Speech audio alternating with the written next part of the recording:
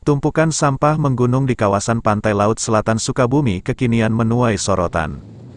Terkait tumpukan sampah di kawasan pantai Cibutun Loji, Desa Sangrawayang, Kecamatan Simpenan, Kabupaten Sukabumi ini, Bupati Sukabumi, Marwan Hamami, kepada awak media menjelaskan jika tumpukan sampah di muara laut selatan tersebut merupakan sampah kiriman dari hulu sungai.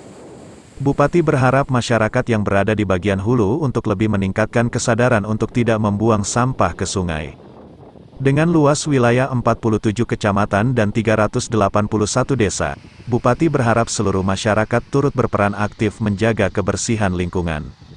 Lanjut Marwan, masyarakat diharapkan tidak hanya menyalahkan dinas terkait, namun bersinergi bersama pemerintah dalam menjaga alam. Uh, tentunya kita berharap masyarakat baik di kota Sukabumi, di Kabupaten Sukabumi, karena semua muaranya ke sana. Jadi tidak membuang sampah ke sungai, tapi memang kendala-kendalanya banyak. Hanya kita berharap mereka tidak membuang sampah ke sungai, tetapi dikolektifkan oleh desa maupun oleh pengurus lingkungan.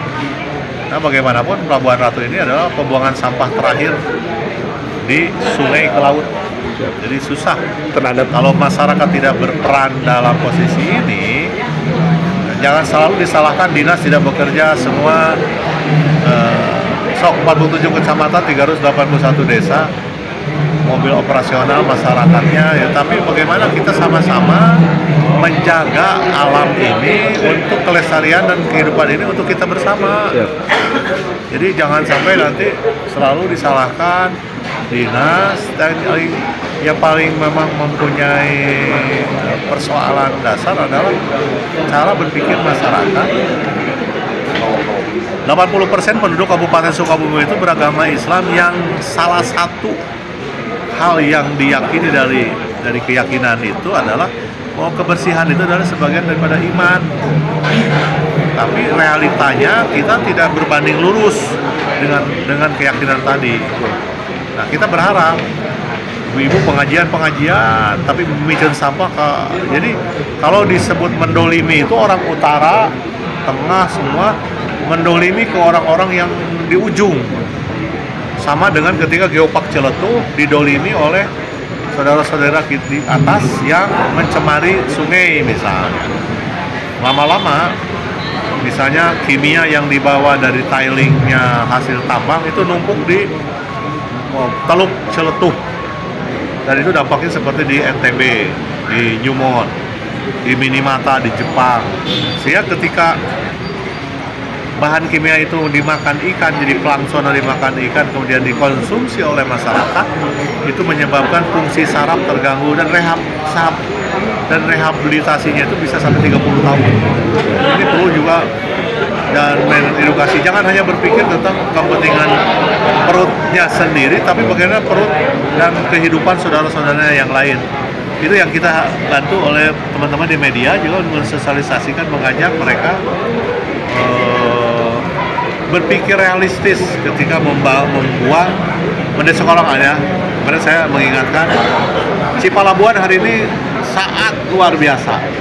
Hujan gede banjir naudzubillah kan seperti itu. Nah ini gambaran saja tapi ini tidak tidak pernah menjadi satu cerminan. Kondisi-kondisi lihat Pak.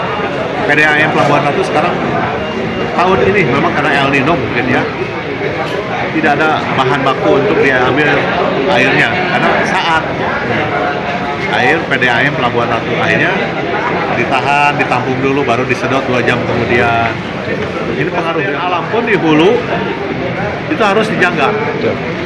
Kita tidak tahu mesti pakai helikopter. Gunung Halimun, Taman Nasional Halimun Salak itu seperti apa hari ini? Nah, yang masih kita lihat mah, walaupun airnya sudah menyurut, itu mungkin apa tempat arung jerat sungai sungai Citarik ya. Nah itu masih ada air, berarti ya, taman uh, apa Taman Nasional Halimun Salak di Bandungan masih bisa memberikan dampak tetapi semua sungai kecuali Cimandiri lah. Cimandiri karena dari, dari sungai gede masuk ke situ. Yang tadi itu dampak sampahnya luar biasa. Diketahui persoalan sampah di pesisir Loji ini sudah beberapa kali mendapat sorotan. Pihak Pemkap Sukabumi sendiri sudah beberapa kali melakukan penanganan salah satunya menggelar event Beach Clean Up Day. Terakhir pada tanggal 10 Juni di tahun ini, Pemkap Sukabumi melalui Dinas Lingkungan Hidup menggandeng TNI, Polri dan PLTU Palabuhan Ratu, bersama ribuan warga melakukan aksi bersih-bersih di Pantai Talanca, pesisir Loji, Kecamatan Simpenan.